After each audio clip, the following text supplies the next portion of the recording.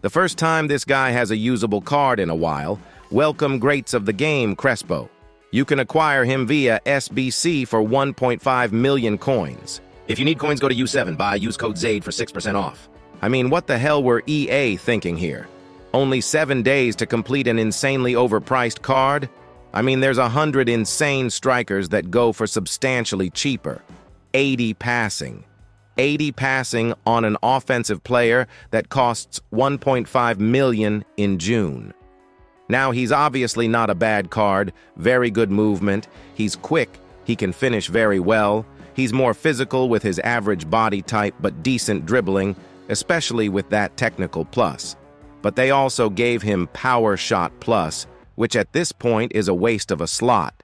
They gave him aerial but no power header. I mean, this one is a bit of an IQ test, I can't lie.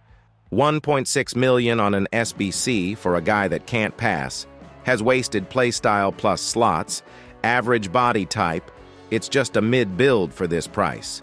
If he was 400k, it's amazing.